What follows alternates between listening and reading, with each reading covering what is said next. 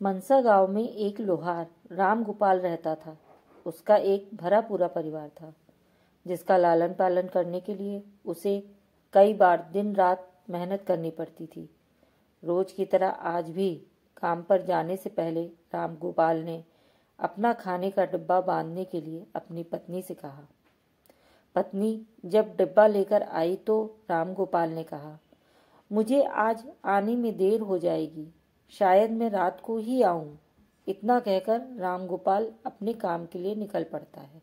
अब काम पर जाने का जो रास्ता था, वो एक जंगल से होकर गुजरता था। वहाँ जैसे ही राम गोपाल पहुँचा, उसे कुछ आवाज़ें सुनाई दी। जैसे ही राम गोपाल कुछ पास गया तो उसने देखा कि एक साधु भगवान का मंत्र जपने के साथ हंस भी रहे हैं। हैरान होकर राम गोपाल ने पूछा, आप ठीक हैं? हालाँकि रामगोपाल उस साधु को नहीं जानते थे, लेकिन साधु ने एकदम से उसका नाम लेकर कहा, आओ राम गोपाल बेटा, मैं तुम्हारा ही इंतज़ार कर रहा था। मैं भूखा हूँ, मुझे अपने खाने के डिब्बे से कुछ खिला दो। बाबा से अपना नाम सुनकर राम गोपाल हैरान हो जाता है, लेकिन उसने कोई सवाल नहीं किया और सीधा अपना खाने का डिब्बा निकालकर उन्हें दे दिया। और देखते ही देखते बाबा ने राम गोपाल का सारा खाना खा लिया।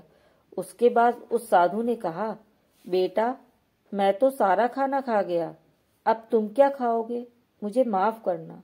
राम गोपाल ने कहा, कोई बात नहीं है बाबा, मैं काम के लिए बाज़ार जा रहा हूँ तो मैं वहीं कुछ खा लूँगा। यह सुनकर उस साधु ने गोपाल को खूब आशीर्वाद दिया और भेंट के तौर पर एक हथौड़ा दिया। राम गोपाल ने कहा, आपका आशीर्वाद ही काफ़ी है। मैं इस हथौड़े का क्या करूँगा? इसे आप ही रखिए। साधु ने जवाब देते हुए कहा, बेटा, यह मामूली हथौड़ा नहीं है, ये जादुई हथौड़ा है, जो मेरे गुरु ने मुझे दिया था और अब मैं तुझे दे रहा हूँ, क्योंकि तुम्हारा दिल बहुत ही साफ़ है, इसका इस्तेमाल अच्छे कामों के लिए ही करना, और दूसरे के हाथ में इसे कभी मत पड़ने देना। इतना कहकर वह बाबा वहाँ से अदृश्य हो जाते हैं। फिर राम गोपाल अपने हाथों में हथौड़ा लेकर बाज़ार काम करने के लिए चला जाता है। औज़ार बनाने से पहले उसके दिमाग में आया कि आज इसी हथौड़े से लोहा पीटता हूँ। जैसे ही उसने लोहे पर हथौड़े से चोट मारी, वो सीधा औज़ार बन गया। दूसरी चोट में लोहे के बर्तन बन गए। अब रामगोपाल समझ गया था कि यह सही में ही जादुई हथौड़ा है। वो जो बनाने की सोच के साथ लोहे पर चोट मारता, लोहा सीधे वही बन जाता।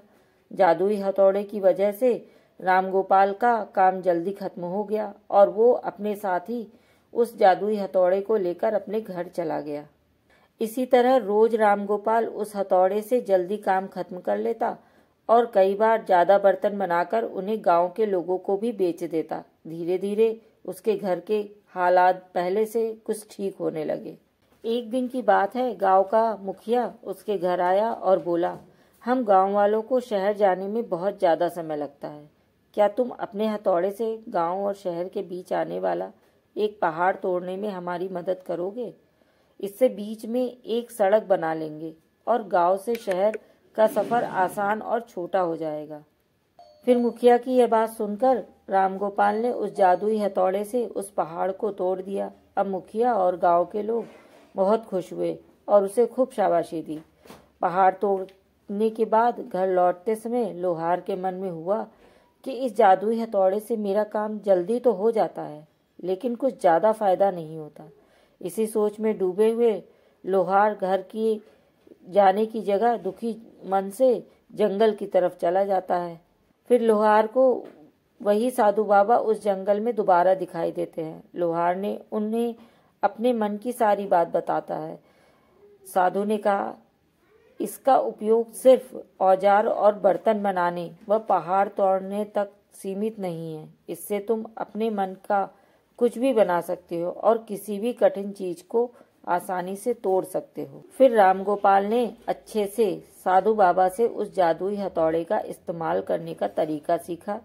उसके बाद रामगोपाल ने बहुत धन कमाया। आज रामगोपाल एक अमीर आदमी बन गया था।